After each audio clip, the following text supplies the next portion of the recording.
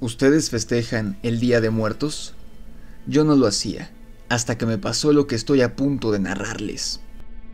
De esto ya han pasado seis años, pero jamás olvidaré la lección que me vino a dar un espectro, un fantasma o como quieran llamarle desde el más allá. Esa experiencia me demostró que lo paranormal existe, que al morir es la carne la que se pudre y es devorada por los gusanos, pero el alma realmente trasciende. No olviden sus clases de física de la secundaria. La materia no se crea ni se destruye, solo se transforma. En fin, de lleno al relato. Corrí el mes de septiembre cuando mi abuela paterna falleció. La relación entre casi todos los miembros de mi familia es, por dejarlo en algo simple, complicada. Mis padres son divorciados, a mis hermanos no los veo desde que tengo 12 años y mis tíos están peleados entre ellos por cosas estúpidas que probablemente ya ni siquiera recuerdan. Cuando falleció mi abuela, nadie quiso hacerse cargo del entierro ni de sus bienes. ¿Qué tan mal te tienes que llevar con tu madre para que ni siquiera le concedas un entierro digno? ¿Y cuán poco te importa tu apellido que ni siquiera pelearías por la herencia de la familia? Pues, así eran mis familiares. Yo me sentí mal por la anciana, que tampoco me había tratado muy bien, que digamos, en mi infancia, debo aclarar. Tuve que viajar a otro estado para encargarme del funeral y todas esas cosas. Enterré a mi abuela en el cementerio municipal y la ceremonia fue más que sencilla. Solo un sacerdote y yo. Al terminar el rito, nos despedimos, me dio el pésame y se perdió de vista entre las lápidas llenas de musgo. Yo no lloré ni una sola lágrima aquella tarde nublada y deprimente. Lo siguiente fue todavía más desgastante que el sepelio, encargarme de la casa de mi abuela. Para mi sorpresa, sí hizo un testamento, y aún mayor fue mi sorpresa cuando el notario me dijo que la casa estaba ahora a mi nombre. Yo no era cariñoso con mi abuela, porque ella nunca lo fue conmigo, pero al menos no era ruin ni grosero con ella, como los demás miembros de mi familia, así que le vi cierta lógica y acepté la casa. De hecho, me cayó como anillo al dedo porque me acababa de divorciar por aquellos años. Mi ex esposa se había llevado a mi hijo de cuatro años a otro estado y yo ya no podía verlo. Me quedé completamente solo en el mundo. Alejarme de la ciudad y mudarme a esa enorme y vieja casa en medio del bosque me haría bien. En menos de dos semanas ya me había instalado en la casa, pero como un citadino de toda la vida, me costó trabajo adaptarme a la vida en el campo y a la misma casa. Esta casa, que era casi una mansión, había sido construida por un general en la época posterior a la Revolución Mexicana, así que ya imaginarán lo vieja que era. Tenía humedad en las paredes, el viento azotaba algunas ventanas de vez en cuando y todo el inmueble parecía silbar cuando una corriente de viento soplaba. Había algo que me parecía muy extraño, que mi abuela había estipulado en su testamento. La que había sido su habitación, todo el tiempo que había vivido ahí, Debía permanecer sellada en todo momento, sin importar nada. Sin embargo, no le di mucha importancia. Seguro era alguna superstición de la anciana. Quizá no quería que yo durmiera en el mismo colchón en el que ella y mi abuelo... Me dio asco solo de imaginarlo. O tal vez la vieja escondía algo ilegal ahí. Te repito, no era la mejor mujer del mundo, y no me habría extrañado que algún trapito sucio saliera al sol. Simplemente dejé el cuarto sellado, pues era el más chico y maltratado de toda la casa. En su lugar, yo me instalé en el cuarto más grande, en la planta alta, que me daba una vista perfecta de los terrenos que rodeaban la enorme casa. De niño siempre había soñado con una habitación como aquella. En fin, llegó el mes de octubre, pero yo no podía dormir. Mi estadía en la casa, durante el día, no era nada mala, pero por las noches era un infierno. Una maldita ave golpeteaba todas las noches, después de la una de la madrugada, con su pico en el marco de mi ventana. Odio la luz, así que desde mi llegada no había abierto la cortina de ese cuarto. También por las noches se escuchaban como aullidos, no muy lejos de la casa, entre la vegetación. No tenía sentido que fuera un lobo porque en esa zona del país no hay lobos, pero podría ser el perro de algún campesino o algo así. Lo que más me inquietaba era el sonido de pezuñas rondando la casa, como en círculos, e incluso llegaban a subir al porche porque se escuchaba a este animal caminar sobre la madera de este. Yo bajaba a ver, oculto tras la cortina de las ventanas de la sala, pistola en mano, por si era algún jinete mañoso que se quisiera meter a la casa, o si era algún animal de una granja no muy lejana, que ahora estaba en mi propiedad. Si ese fuera el caso, bueno, este animal ahora sería mío. Todos estos ruidos sonaban al mismo tiempo y no cesaban hasta que los primeros rayos del sol comenzaban a asomarse en el horizonte, pero jamás vi nada, ni al ave, ni al perro, ni al animal con pezuñas. Creí durante varias noches que solo era un chico citadino asustado por los ruidos del campo, que resultaban completamente desconocidos para mí, hasta una mañana que descubrí que no era así. Habrán sido apenas las 5 o 6 de la mañana cuando escuché que alguien trataba de abrir la puerta de la entrada. Hasta ese momento no había pensado en lo vulnerable que me encontraba en aquella casa, completamente solo, sin amigos ni vecinos cerca, en medio del bosque. Y peor aún, lo vulnerable que había estado siempre mi abuela dentro de aquella casa. Tomé mi arma y bajé muy lentamente por las escaleras, tratando de que la vieja madera no crujiera tanto bajo mi peso. Se oían unas vocecillas afuera, en el porche. Más de una era de mujer, pero una en particular era de un anciano. Susurraban cosas como no abre esta pinche puerta o mendiga vieja, quién sabe qué trabajo habrá hecho. Yo me paré al lado del marco de la puerta y me percaté de que ésta ni siquiera estaba cerrada con llave, así que me sorprendí de que estos intrusos no pudieran abrirla, pero me dio gusto. Entonces me armé de valor Cargué mi arma y abrí de golpe la puerta, apuntando a quien fuera que estuviera del otro lado. Un anciano con aspecto de campesino casi se muere de un infarto al verme y levantó las manos en señal de inocencia.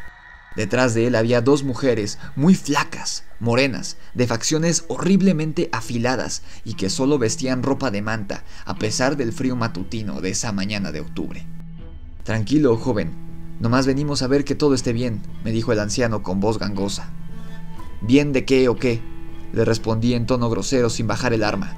Incluso caminé fuera de la casa y el hombre y las mujeres, que sospeché eran sus hijas, retrocedieron asustados.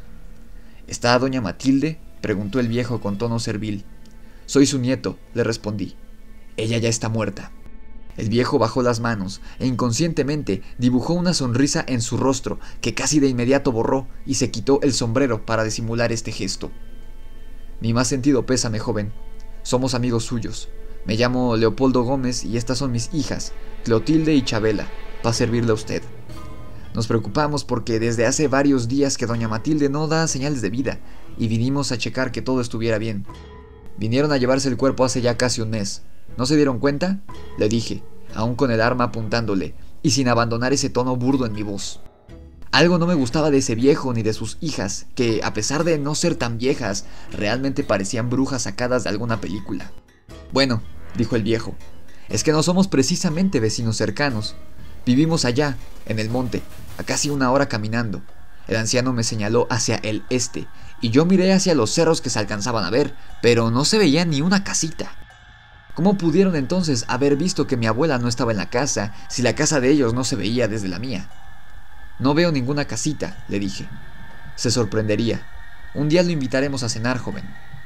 Al ver que mi actitud no dejaría de ser hostil hacia ellos, el viejo se despidió con una sonrisa, y él y sus hijas se perdieron entre los árboles. Todo lo paranormal comenzó esa misma noche.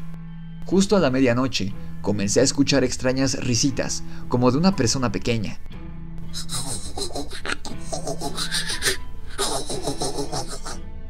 No de un niño, sino de alguien pequeño, agudas, maliciosas.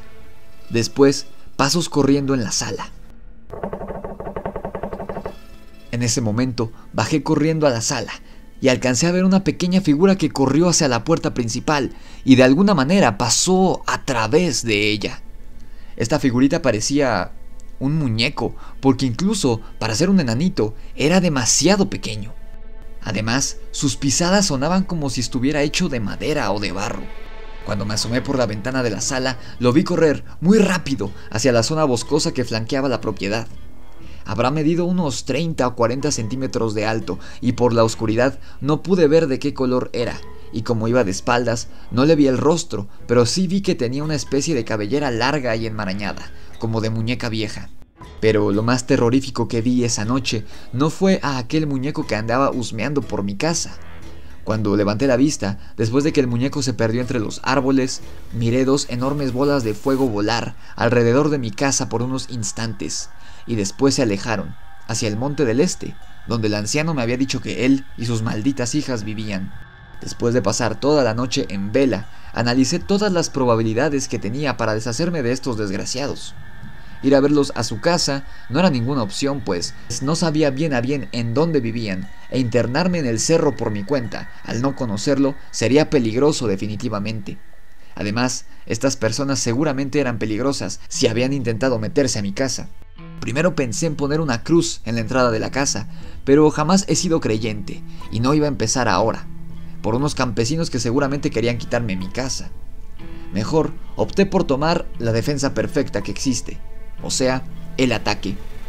Esa noche, desde muy temprano, por primera vez desde que había llegado a la casa, abrí las cortinas de mi habitación, como señal de que no me ocultaba de esos animales.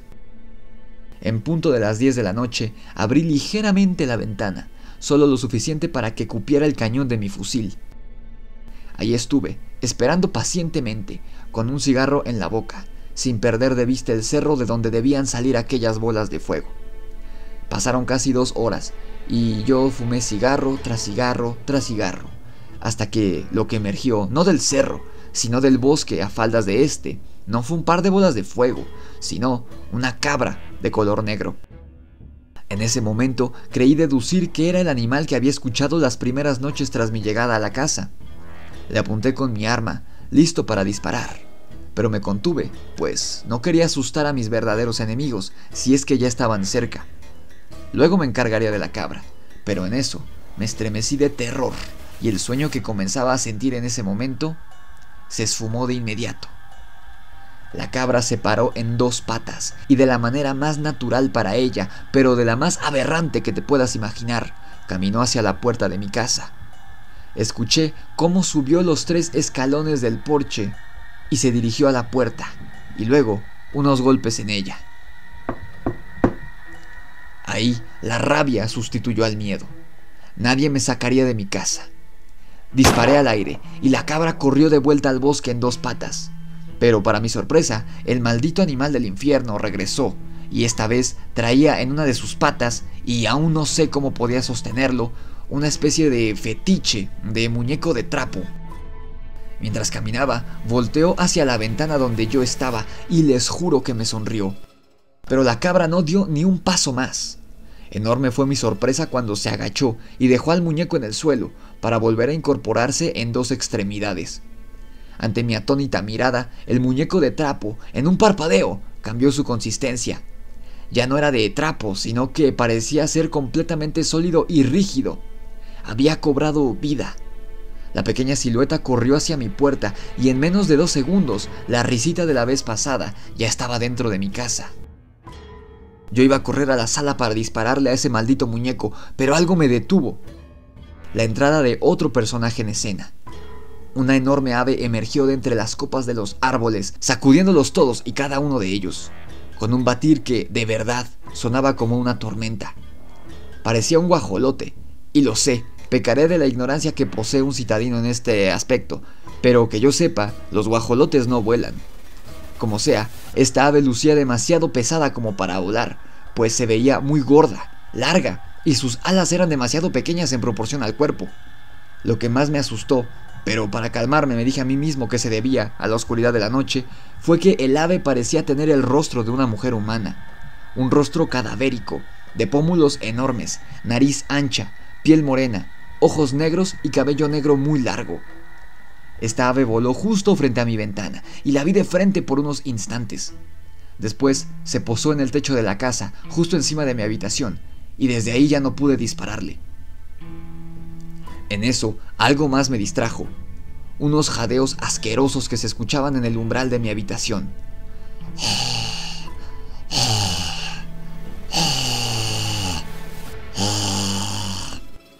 Cuando me di media vuelta con mi fusil en mano, vi al maldito muñeco observándome. Parecía ser de madera, con las cuencas oculares completamente vacías y una especie de melena larga de color negro, que quizá suene gracioso, pero parecía que estaba hecha de vello púbico. Tenía una sonrisa hueca y sin dientes, y aún así me dio escalofríos. Parecía uno de esos monigotes de madera articulados que usan los modistas y los dibujantes, pero con un rostro inquietante y su asquerosa melena negra. Esa cosa se rió de mí y yo le di un tiro, pero fallé, y él salió corriendo escaleras abajo. Yo lo seguí, pero cuando llegué a la sala no pude encontrarlo. Lo que sí vi fue la sombra de un par de pies justo afuera de la puerta principal. Furioso, tiré de la puerta y me topé de frente con la maldita cabra parada en dos patas, que me miraba con una asquerosa sonrisa en su hocico. Lo primero que pensé cuando la vi fue en ese maldito viejo, a quien había descubierto en una situación muy similar un par de días antes. Le apunté a la cabra con mi arma, pero esta, con una velocidad impresionante, corrió hacia uno de los costados de la casa. Yo la perseguí, gritando un montón de groserías, pero cuando di vuelta en el ala oeste de la casa, me topé de frente con un enorme perro blanco que brillaba en la completa oscuridad de la noche, gruñéndome furioso. El perro se me echó encima y no me lo pude quitar. Me mordió en el hombro derecho con tanta fuerza que sentí que me arrancaría todo el brazo de tajo. Comencé a sacudirme como loco y logré darle un tiro en el estómago que lanzó al animal varios metros lejos de mí, bañándome con su sangre. Escuché un grito aterrador detrás de mí para ver cómo la cabra corría furiosa, aún en dos patas, directo hacia mí. La bestia antropomórfica inclinó la cabeza hacia el frente, lista para embestirme con sus cuernos. Alcancé a protegerme con el rifle, poniéndolo de forma horizontal. El arma amortiguó el golpe, pero aún así el impacto de la cornamenta del engendro contra el metal del fusil me lanzó disparado hacia atrás, arrancándome el aliento. Cuando me incorporaba, vi al perro con su inmaculado pelaje blanco, ahora lleno de un carmesí brillante, y chillando y retorciéndose, se internó corriendo en el bosque, seguido de la cabra. Después, el ave enorme que estaba en el techo de la casa voló hacia allá, y al cabo de unos minutos, dos bolas de fuego sobrevolaban el bosque. Una de las luces lucía apagada y volaba abajo. Regresé a la casa y busqué al muñeco o algo que faltara, pero no había nada extraño. Traté de asimilar lo que me acababa de ocurrir y en el intento por hacerlo, vomité. Subí corriendo a la habitación de la abuela y traté de abrirla, pero no pude. Un instinto me detuvo de hacerlo. No me sentía seguro abriendo esa puerta de noche, y menos con esas cosas cerca y el muñeco desaparecido. Era todo. Debía buscar respuestas. En los pueblos la gente habla y necesitaba saber qué pasaba entre ese viejo y sus hijas y mi abuela. Al día siguiente iría al pueblo a ver qué averiguaba. En eso, un dolor insoportable comenzó a hacerse presente justo en el lugar donde me había mordido ese perro. Por la adrenalina ya había olvidado la herida. No era una infección, era algo peor. Una infección no actúa tan rápido. La herida me ardía y no paraba de sangrar. Entré a una de las habitaciones de la planta baja, arrastrándome, para tratar de curarme, pero el dolor me tumbó en la cama. No podía moverme y no tenía fuerzas para hacerlo. Cuando creí que moriría ahí, desangrado, y que esa maldita familia de brujos, o de qué otra manera podría llamarlos, irían a sacar mi cadáver y se quedarían con la casa de mi familia. En ese preciso instante sentí como un par de manos enormes y huesudas, pero femeninas, me tomaban del torso estas manos estaban heladas y eran tan grandes que juntas eran capaces de sujetarme del torso como si yo fuera un juguete, y no soy un hombre pequeño en absoluto. No quise voltear hacia atrás, pero sabía que las manos parecían emerger de la pared a la que estaba pegada la cama. Por lo que vi, las manos tenían una piel purpúrea, con uñas tan largas que parecían garras, y dedos huesudos como los de un cadáver. Lo único que atiné a hacer fue sujetarme con una mano de la cabecera de la cama, mientras este espectro tiraba de mí hacia la pared o lo que sea que hubiera a mis espaldas en esos momentos. Sentía los jadeos trabajosos de esa cosa y cuando creí que no podría sostenerme más, un aroma invadió la habitación. Era... No, no podía ser. ¿El perfume que usaba mi abuela? Un perfume único, pues ella misma lo hacía, a base de hierbas y esencias. En cuanto el olor se hizo presente, comencé a escuchar una especie de rezo, de voz de una mujer, muy rápido, en una lengua que yo no conozco. No sé si fue el miedo o la adrenalina o la pérdida de sangre, pero podría jurar que esa era la voz de mi difunta abuela. Poco a poco, la aparición que me sujetaba comenzó a perder fuerzas y a soltarme, hasta que me soltó por completo y desapareció. El aroma también se había ido. Sonreí y me quedé dormido profundamente. Al día siguiente desperté muy tarde, casi a las 11 de la mañana, descansado como no lo había hecho en semanas. Me quité la camiseta, alarmado por la herida que me había propinado ese perro enorme la noche anterior, pero esta ya no era más que un rasguño superficial. Eso sí, muy grande. Rápidamente tomé las llaves de mi camioneta y conduje hacia el pueblo, lo más rápido que pude. Busqué una tienda de esas que venden de todo, desde frutas hasta sillas de montar, y después de un rato la encontré. La señora que atendía, una mujer de mediana edad, envejecida por la vida en el campo, tenía toda la pinta de señora chismosa. De hecho, en vez de atender a los clientes, estaba platicando con una muchachita de unos 14 años. Seguro ella sabría algo sobre la casa, sobre mi abuela y sobre esa extraña familia del cerro. Buenas tardes, señor, saludé. ¿Qué cigarros tiene? La mujer sacó de debajo del mostrador varias cajetillas de distintas marcas y después le echó un vistazo a mi camioneta, para nada discreto. Usted no es de por aquí, ¿verdad? me preguntó.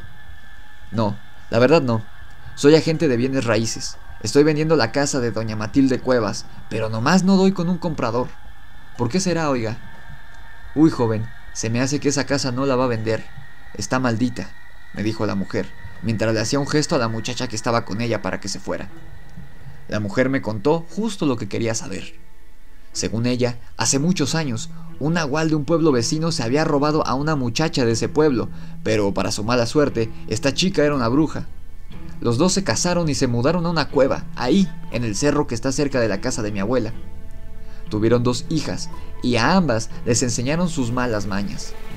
Durante años, las tres brujas y el nahual bajaban al pueblo a robar animales y comida por las noches, hasta que doña Mati, mi abuela, se mudó a la casa que antes había sido de su papá, y que había estado deshabitada casi 10 años desde la muerte de él. Esto le molestó a la familia de brujos, no solo porque ella los veía bajar del cerro en su forma animal, sino porque doña Mati misma era una bruja. No era de las brujas buenas, pero sus creencias eran distintas a las de la familia, y querían echarla por eso. Muchas noches se enfrentaron a ella. Hasta el pueblo se escuchaban gruñidos de animales, golpes, aleteos de un ave enorme y se veían llamaradas enormes en el cielo. Todo el pueblo le temía a Doña Mati y a esos brujos. Hasta que un día, dicen que la esposa del Nahual se metió a la casa de mi abuela para amedrentarla, pero ella fue más cabrona y la encerró en un cuarto lleno de sortilegios y ya nadie pudo entrar a sacarla, ni ella pudo salir de ahí. Jamás volvieron a ver a esa mujer. Las leyendas de la gente del pueblo decían que la bruja seguía ahí, encerrada en la casa de Doña Mati. Me recorrió un escalofrío cuando pensé en el cuarto sellado de la casa. Le agradecí a la mujer, pagué por mis cigarros y me regresé para la casa a bordo de mi camioneta. Cuando iba saliendo del pueblo me topé con el anciano y una de sus hijas caminando al lado del camino. Iban vestidos de negro.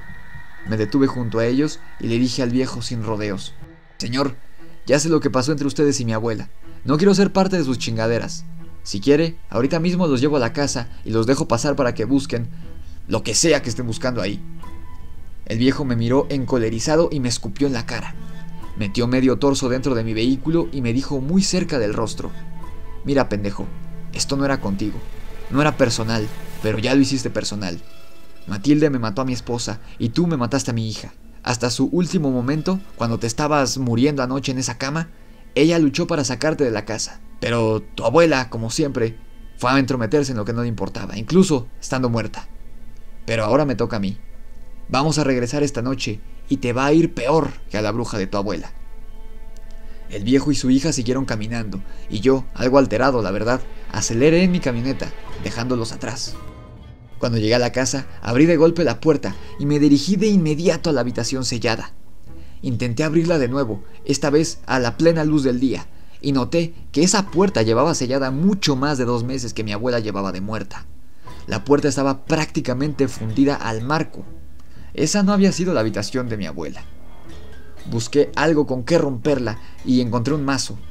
Después de varios golpes, la puerta se abrió, liberando un aire gélido con olor a muerto, y un gemido aterrador se escuchó en toda la casa, como si hubiera sido producido por las paredes mismas.